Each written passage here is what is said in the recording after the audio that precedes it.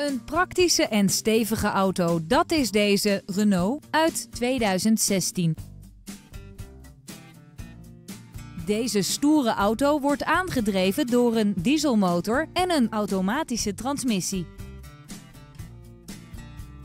Het is een compleet uitgevoerde auto met onder meer een lederen versnellingspook, een regensensor en LED-achterlichten.